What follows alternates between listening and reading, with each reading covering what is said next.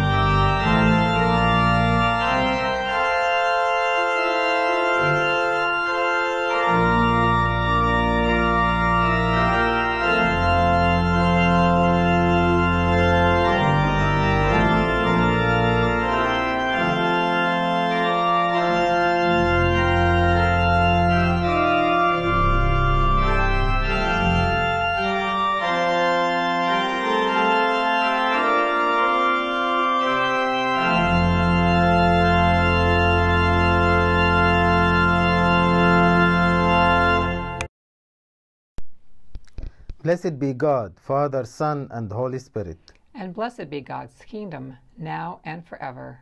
Amen. Almighty God, to you our hearts are open, our desires known, and from you no secrets are hid.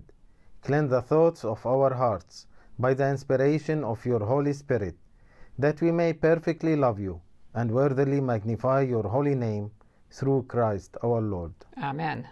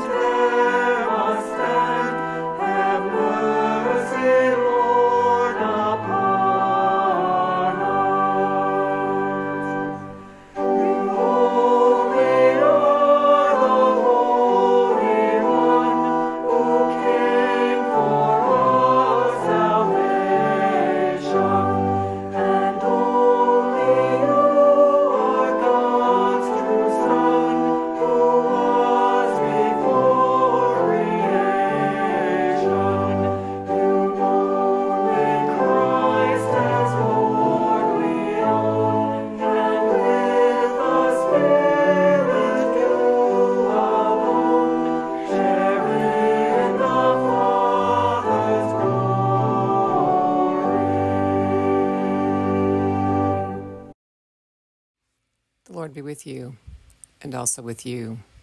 Let us pray.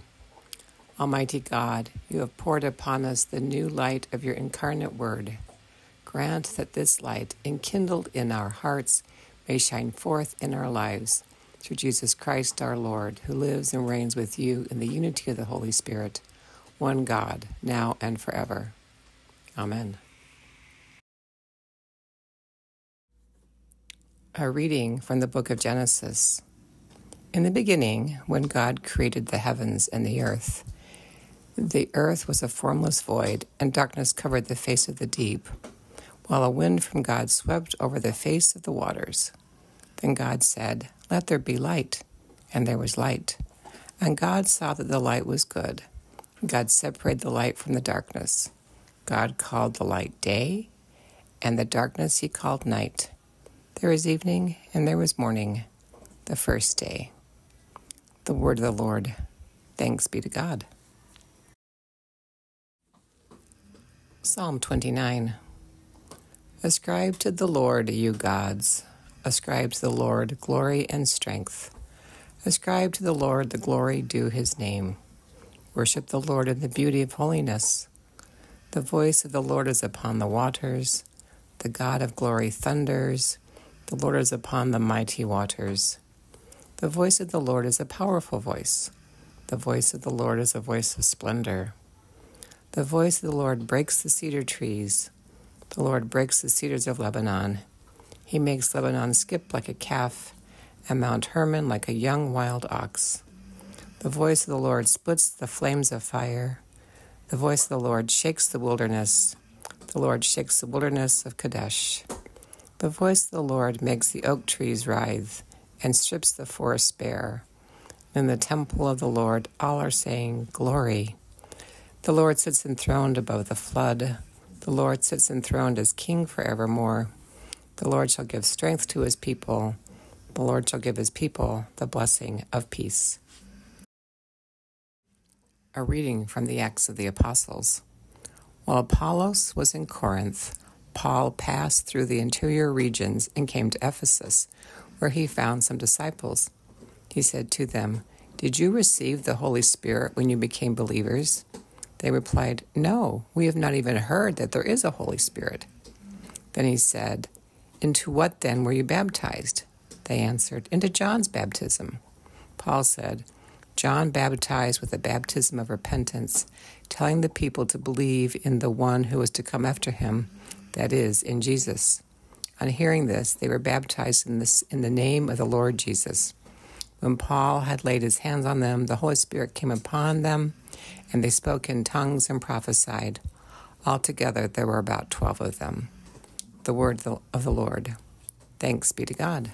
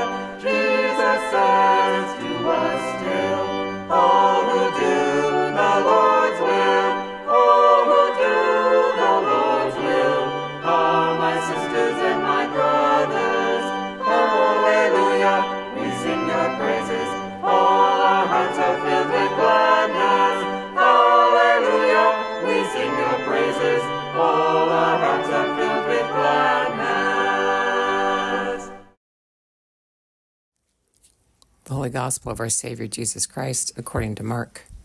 Glory to you, Lord Christ.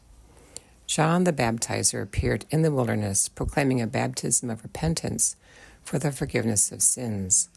And people from the whole Judean countryside and all the people of Jerusalem were going out to him and were baptized by him in the river Jordan, confessing their sins. Now John was clothed with camel's hair and a leather belt about his waist and he ate locusts and wild honey. He proclaimed, The one who is more powerful than I is coming after me, I am not worthy to stoop down and untie the thong of his sandals. I have baptized you with water, but he will baptize you with the Holy Spirit. In those days, Jesus came from Nazareth of Galilee and was baptized by John in the Jordan. And just as he was coming up out of the water, he saw the heavens torn apart and the Spirit descending upon him like a dove.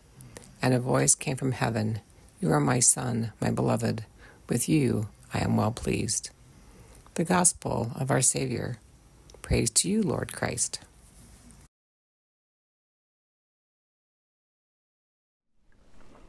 Today is the day that the church celebrates the baptism of Jesus. It was determined to be celebrated every year on the second Sunday in January, and so it conflates a little bit with what we would normally be celebrating, which is the Epiphany. So we have a little bit of the Epiphany today and a little bit of the baptism of Jesus. But our readings in particular reflect on the baptism of Jesus. And so there are many implications to consider about Jesus and his baptism. Each of the four Gospels have a slightly different way of describing the events of that baptism. And one might wonder what is the importance of baptism? And why was Jesus baptized? Why was it important for Jesus to be baptized? According to Cyril, who was a fourth century bishop of Jerusalem, early Christians believed that water was the beginning of the world and that the river Jordan, which is where Jesus was baptized, that the river Jordan was where the gospel message of love and hope for the world began. It came out of those waters in the baptism of Jesus. These ancient Christians of the third and fourth century believed that baptism returned people to paradise, to the beauty of the Garden of Eden, and to the original intention of God for all of humankind. The oldest survi- surviving Christian baptistry dates back to the third century in a town in Syria. It was a shallow square pool in a private house. In those days, there were no designated church buildings like we have now. Worshipping communities met in private homes. So, of course, the baptismal font was also in a home. The walls around the pool are painted with Christian images images of the paralytic carrying his bed on his back before Jesus healed him, images of Peter and Jesus walking on water, of Adam and Eve and the Good Shepherd leading them back to paradise, and a procession of women carrying torches as they walked to the tomb of Jesus. It's a prophetic set of images telling the Christian story and what we believe God is doing in and through the world, in and through Jesus, in and through us. And in particular, these images convey the idea that in baptism, we are restored to paradise. So here's a few of those images. You can take a look at them.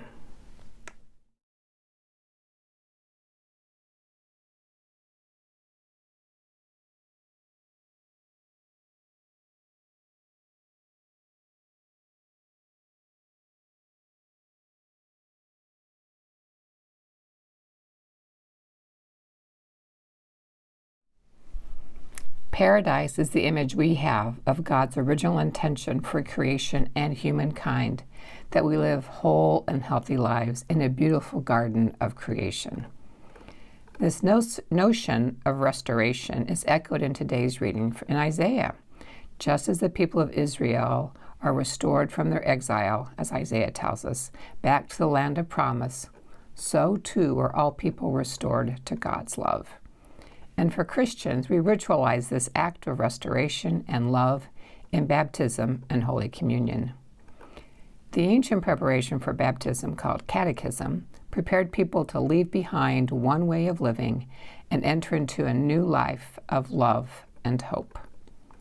When I prepare parents and godparents for baptism of an infant or a child, I always ask them to think about how they intend to raise this child. What are the values and beliefs that will shape this child for their life? When the child is going to be raised as part of a faith community, attending church and learning and growing in faith along the way, the children learn these values as part of our shared life. But sometimes people want their children baptized not so much because they want to raise the child in a faith community, but because the ritual of baptism is part of the family tradition. It's what's done. In these cases, I encourage the parents to really think about their role in the child's life, and in particular, how they will teach the child to navigate life's challenges and make decisions. What are the values and beliefs that the parents will teach this child?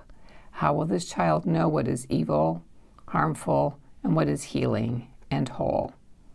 How will the child understand the value of working to create conditions for wholeness for all people? I ask them to think about Christian values in the context of their lives, that Jesus lived to dismantle systems of oppression in his day, and we are called to do the same in our lives and our day. We are called to work for justice. In our reading from the Acts of the Apostles, Peter reinforces this idea that God loves all people. And in the gospel reading this morning, we hear that in baptism, God defines who Jesus is. Likewise, in our baptism, we are given our identity as Christians. With every baptism, we renew our baptismal covenant. This covenant is between each one of us and God. In it, we renounce the evil forces that play in the world and affirm our commitment to love as God loves. In it, we promise to continue to learn and grow as human beings. We learn about the ways we might inadvertently contribute to the brokenness of this world through actions and beliefs that support systems of oppression, for example, like racism, sexism, or economic disparity. These are the evils and sins, or some of the evils and sins of our world today, which we renounce. We promise to share, to care for others, and respect the dignity of every human being. These are some of the values that we inherit as Christians that define us and how we are to live our lives. And baptism is deeply connected to Holy Communion. Many believe that one must be baptized first before receiving communion. Others believe that one can come to the holy table and to these sacraments in either order communion and then baptism, baptism and then communion.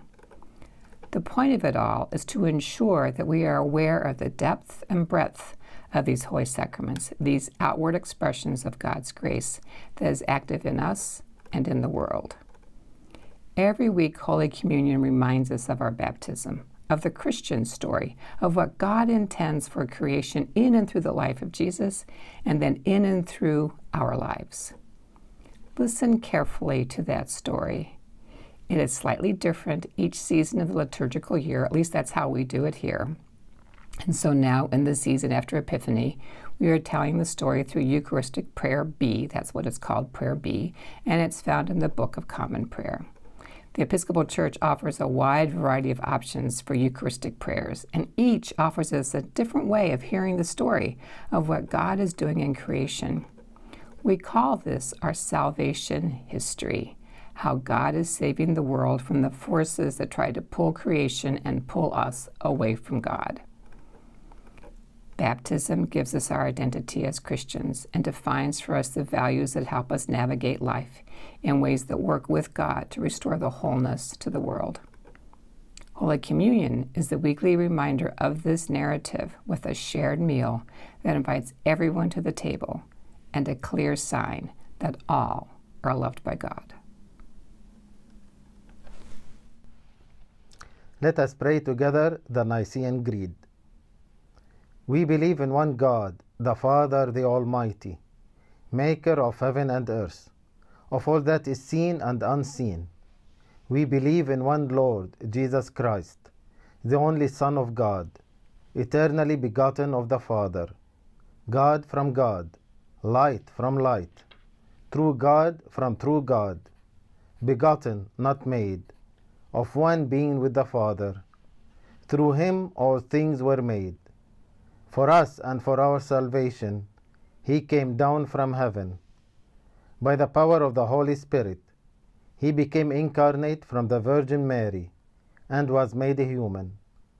For our sake, he was crucified under Pontius Pilate. He suffered death and was buried.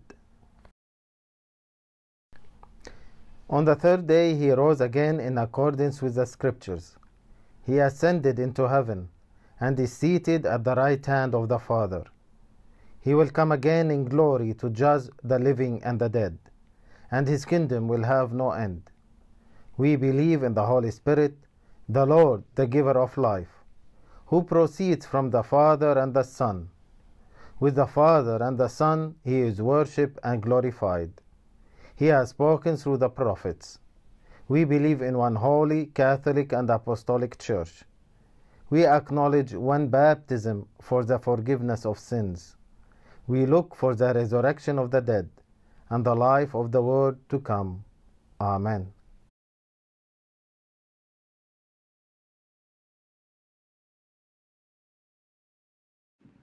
In peace we pray to you, Lord God.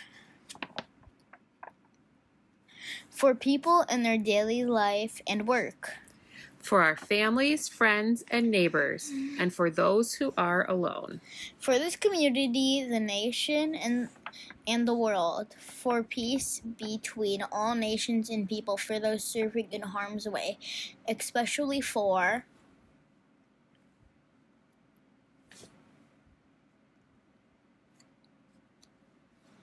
we offer our prayers. For all who work for justice, freedom, and peace.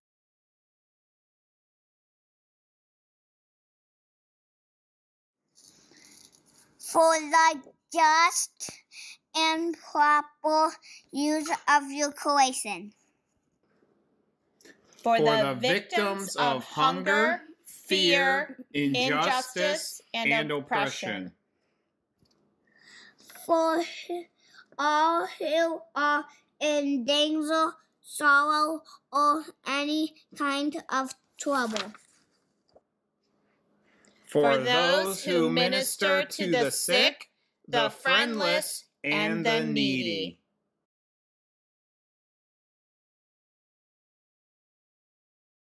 for the peace and unity of the Church of God, for Justin, Archbishop of Canterbury, Michael, our presiding bishop, for Bonnie, our bishop, and for our clergy, we offer our prayers. For all who proclaim the gospel and all who seek the truth. We pray in thanksgiving for those celebrating birthdays and anniversaries for all ministers, lay, and ordained.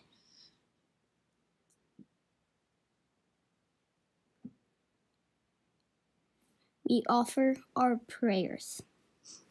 For all who serve God and church.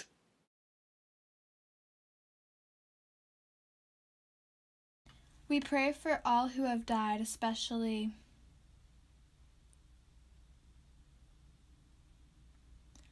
and we pray for these from our family and friends.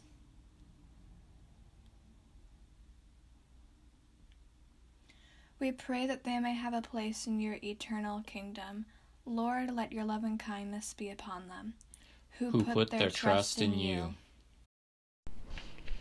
For the special needs and concerns of this congregation, we pray for those who are suffering in mind, body, or spirit especially. And now I invite you to refer to the parish bulletin for the names of the people in the parish that we are praying for, and to also add those from your family and friends.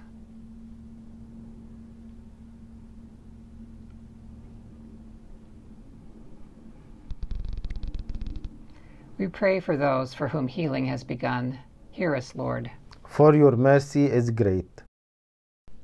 God of peace, let us, your people, know that at the heart of tur- turbulence there is an inner calm that comes from faith in you. Keep us from being content with things as they are, that from this central peace there may come a creative compassion, a thirst for justice, and a willingness to give of ourselves in the Spirit of Christ. Amen. Amen. Let's confess our sins against God and our neighbor. Most merciful God, we confess that we have sinned against you in thought, word, and deed, by what we have done and by what we have left undone. We have not loved you with our whole heart. We have not loved our neighbors as ourselves. We are truly sorry and we humbly repent. For the sake of your Son Jesus Christ, have mercy on us and forgive us that we may delight in your will and walk in your ways, to the glory of your name. Amen. Almighty God, have mercy on you, forgive you all your sins through our Lord Jesus Christ. strengthen you in all goodness, and by the power of the Holy Spirit keep you in eternal life. Amen. The peace of the Lord be always with you. And also with you.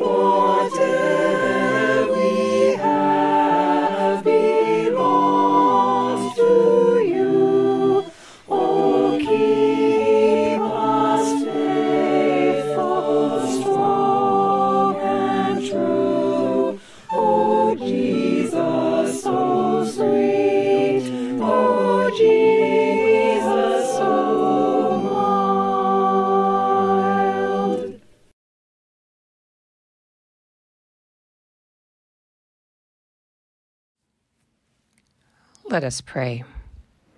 In union, O God, with your faithful people at every altar of your church, where the Holy Eucharist is now being celebrated, we desire to offer to you praise and thanksgiving. We beseech you to come spiritually into our hearts.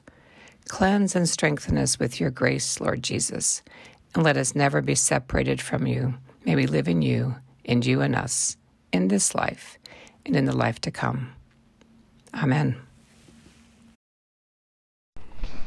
As our Savior Christ has taught us, we now pray Our Father in heaven, hallowed be your name, your kingdom come, your will be done, on earth as in heaven. Give us today our daily bread. Forgive us our sins as we forgive those who sin against us. Save us from the time of trial and deliver us from evil. For the kingdom, the power, and the glory are yours, now and forever. Mm. Amen.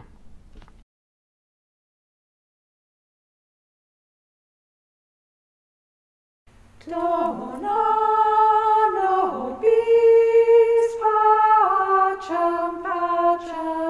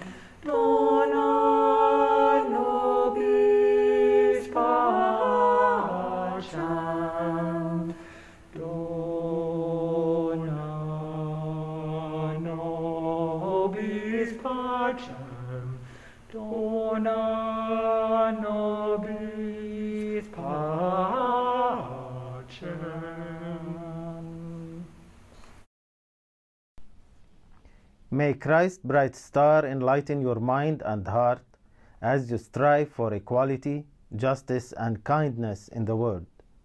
For life is short, and we do not have much time to gladden the hearts of those who travel with us. So be swift to love, and make haste to be kind, and may the blessing of God, Creator, Redeemer, and Giver of life, be with you always. Amen.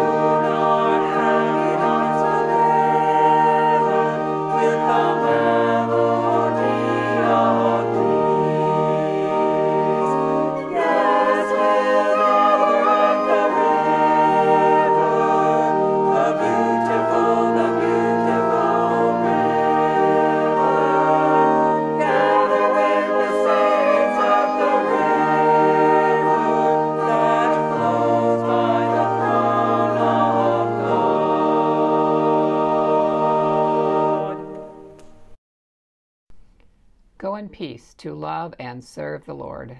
Thanks be to God.